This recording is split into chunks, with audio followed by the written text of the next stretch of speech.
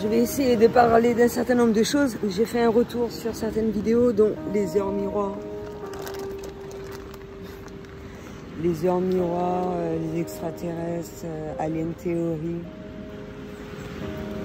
Je suis retournée sur certains sons. Et euh, c'est là qu'on voit les liens qu'il y a avec, je me suis brûlée euh, avec la spiritualité, euh, les, des codes de lumière, aliens, illuminati.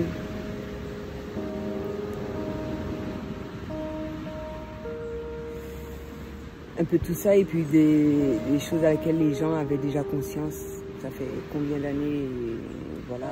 Et les flammes jumelles, j'allais oublier les flammes jumelles quand il y a des heures euh,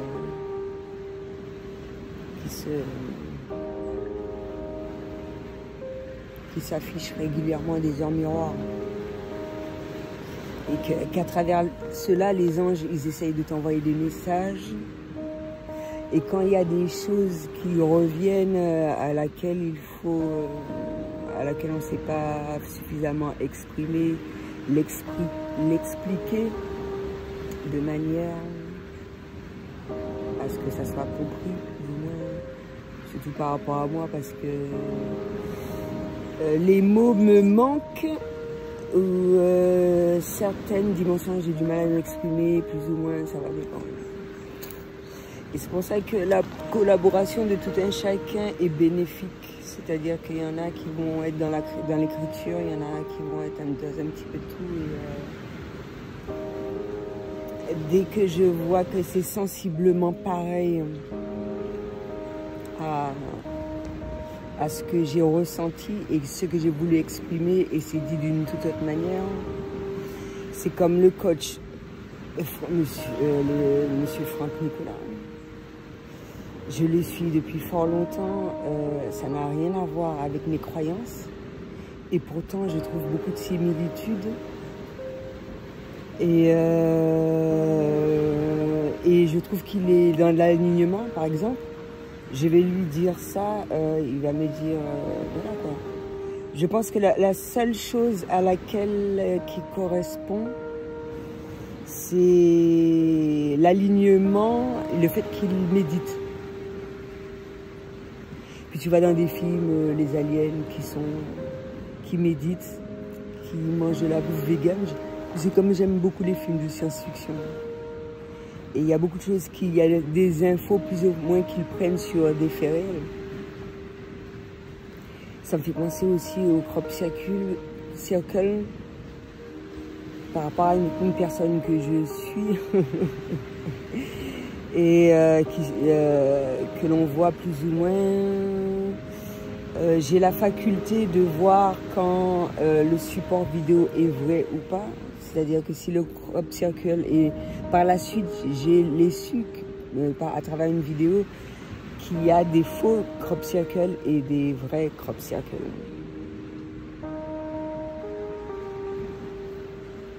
Et ça me fait penser à une vidéo des visiteurs ou euh, vice versa. Quel message qui est véhiculé, tracteur, tracteur.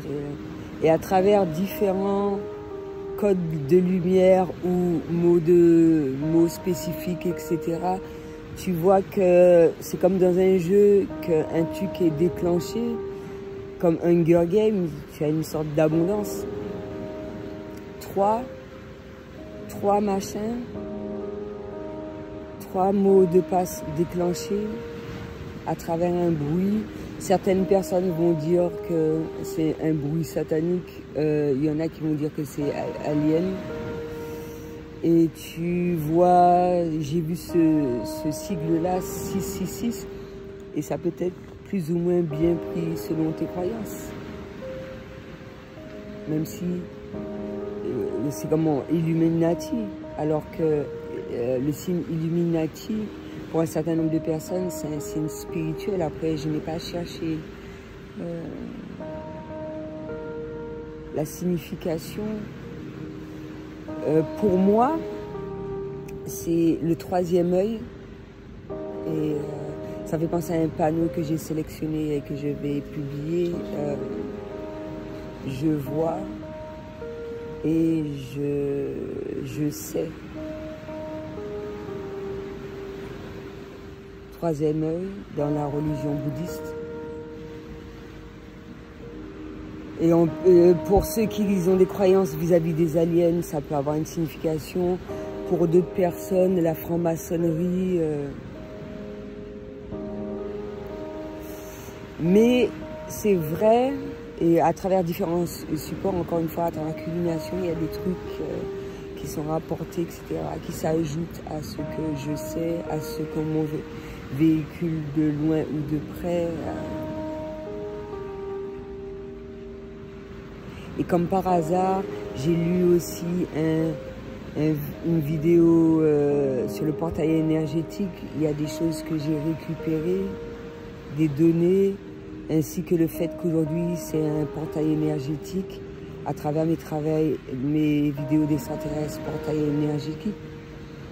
Donc quoi ça consiste, etc. Et j'ai débloqué trois codes 666.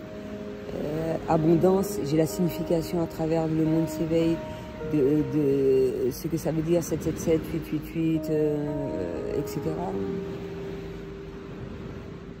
Euh,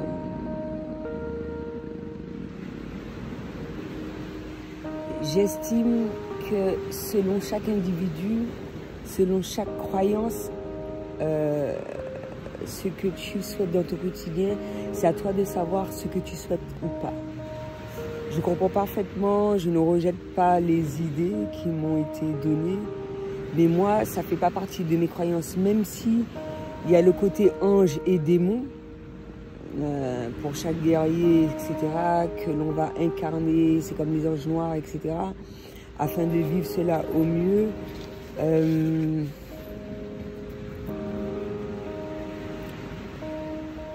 Euh, même si certains sont pour euh, l'évolution, mais euh, c'est comme la nouvelle que j'ai apprise là, 50 cétacés, un cimetière, alors qu'avant j'ai eu le signe de la mort dans un nuage. Dans un nuage, j'ai déjà vu différentes choses. J'ai fait de la voyance à travers ça, différents supports. Dans un nuage, je vois une tête de mort. Après, il y a ça, il y a la mort d'une chanteuse célèbre.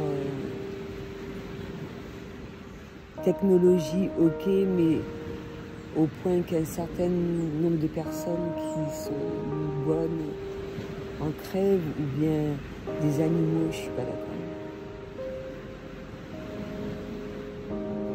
Et ça me fait penser à l'intelligence de l'animal, etc.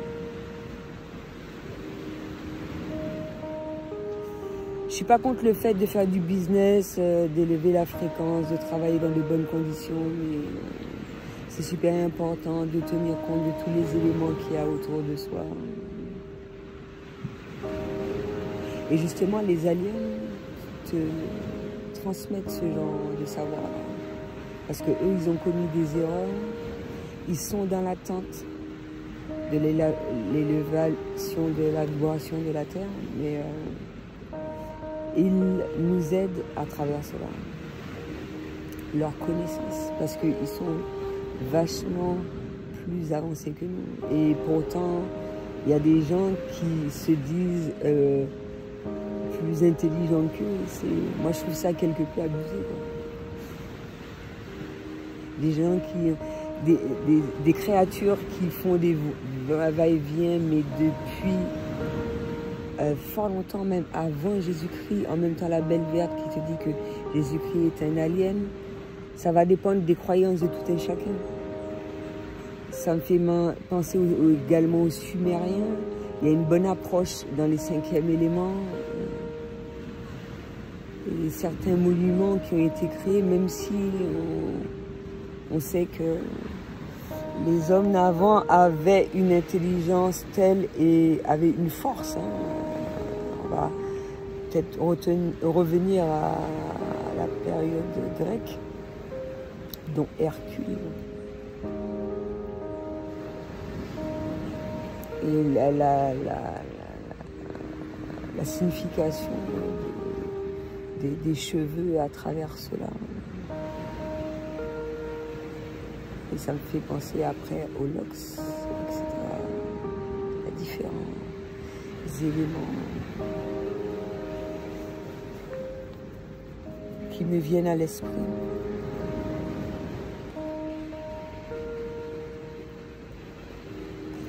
Et justement, quand on a accès à, on arrive à ce niveau de conscience, on a accès à ces données-là, euh, pour nous, ça devient facile. Ça doit être fait, c'est fait quotidiennement, on va dire. Et ça va être fait selon le lieu, la dimension, etc. ce qui va en découler à travers cela, ce sera totalement différent. Et moi, j'estime qu'un guerrier, il est dans l'acceptation de cela, même si à certains moments, euh, il, y a, il y a eu un certain ras-le-bol parce que par rapport à la fatigue et tout ce qui s'ensuit, euh, euh, certaines personnes ne sont pas dans l'acceptation qu'on effectue un travail et il y a un minimum, si ce travail-là doit être continué, il doit être fait dans de bonnes conditions, de, façon optimale, c'est-à-dire avoir une bonne alimentation, manger en conscience justement pour garder cette conscience, faire plus, etc. Tout ça, c'est important. comme je l'ai dit, faire l'amour en conscience. Dès que tu as conscience, dès que tu as arrivé un level, toutes ces choses-là sont ultra importantes pour toi. Et pour toi, c'est normal d'avoir ça, euh, de l'obtenir dans ta vie, quelle que soit la manière dont ça va se faire. Le souhaiter au plus profond de son être, de son âme toi, c'est naturel.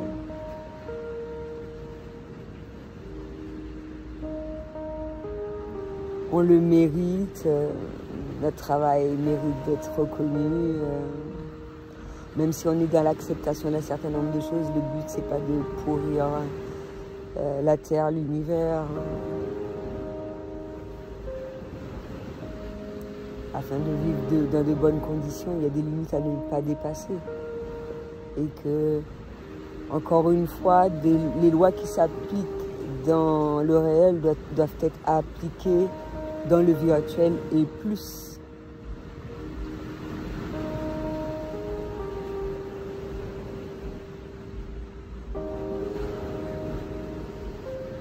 Donc je, voilà, je pense avoir un petit peu tout dit.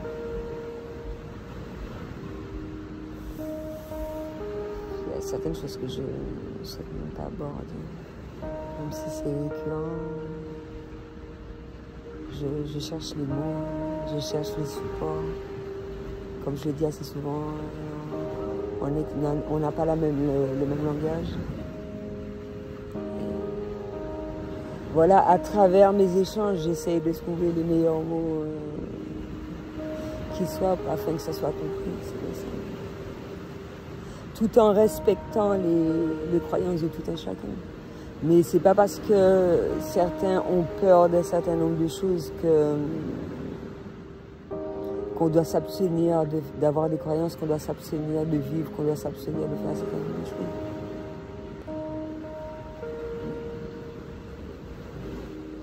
Et tout est une question de choix. Justement, j'ai eu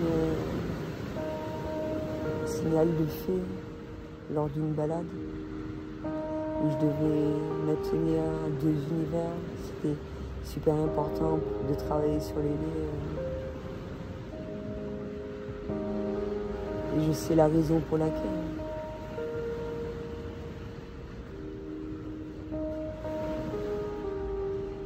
Je suis pas forcée de le dire et ça, ça ne veut pas dire que j'en ai peur. Moi, en tant que flamme jumelle, je vais te le dire parce qu'on me pose la question. En, tant que flamme jumelle, même si euh, y en a pas mal dans leurs livres, etc., ils disent que franchement, il faut avoir une coupure avec tout le monde. Moi, ça a été ma famille et euh, ça a été bénéfique et j'ai encore un travail, un long, chemin spirituel à effectuer. C'était bénéfique pour moi en psychologie, ça va être euh, dit de manière totalement différente. C'est super important de ne pas être en contact euh, avec des, on va dire une famille toxique, même si je suis pas d'accord. Mais je comprends le terme toxique dans le sens où c'est super important d'être épanoui dans sa vie, de ne pas être auprès des personnes qui nous ont fait souffrir de manière minime, plus ou moins. Bon, ça peut être interprété de différentes manières. Et à travers ça, ils te disent aussi certains que, ouais, couper avec tout le monde, alors que moi, j'ai choisi de, continuer de garder contact avec mes enfants. Et ça a été un gros challenge pour moi. Ça continue de l'être de multiples manières parce que euh, c'est assez compliqué hein, de, de changer de chemin, d'avoir d'autres croyances et je peux dire aussi le fait d'être parti, d'être retourné, je peux pas bouleverser leur vie. Même s'ils ils savent que je les aime, ils m'aiment, je le ressens.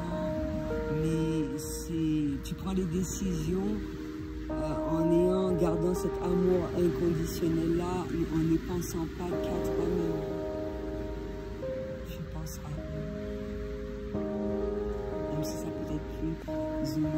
Difficile.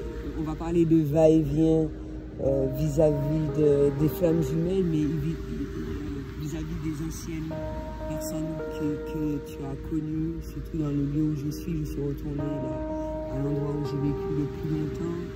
Et, pourtant, j'ai eu beaucoup de signaux des anges disant que je ne devais pas rester. Je me suis sentie capable Jusqu'à ce que je finisse mon parcours et que j'ai eu un autre signal des anges disant que j'ai la possibilité de me débrouiller seule. Que j'ai ce pouvoir-là. Et c'est à ce moment-là que j'ai su que je suis arrivée stade de maître spirituel. Et mine de rien, la, la vidéo que j'ai publiée aujourd'hui, ça parle un peu de ça, Avatar. Expliquer un petit peu qu'est-ce que je dois faire dans mon quotidien afin de débloquer tous ces chakras-là. Faire, euh, faire de façon à éviter toute peur, etc.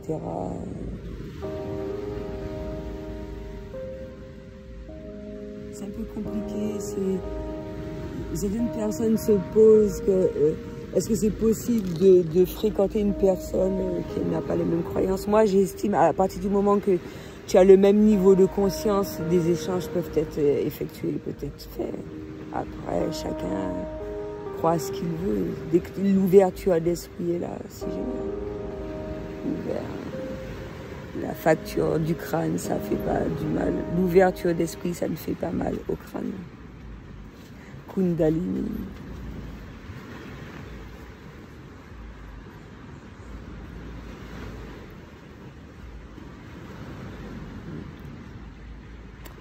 Donc voilà, j'essaie de dire au mieux chaque jour.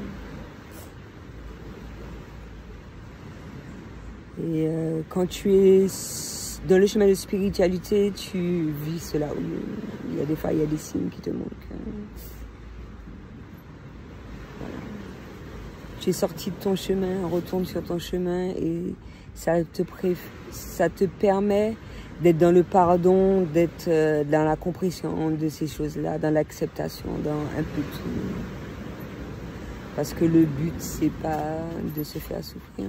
On n'est pas venu ici, on n'est pas venu sur Terre pour souffrir. Pour être heureux faire de façon à ce que les personnes de notre entourage soient heureux également. Tout en tenant compte de pas mal d'éléments euh, qu'on voit à travers les coachs. Moi, j'estime que je suis coach intuitive. Euh, ouais. Je peux pas en dire plus.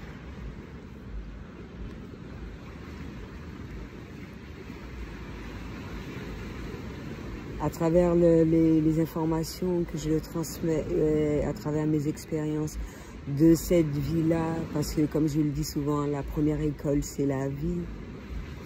Et à travers mes différentes réincarnations. Je peux me permettre, non?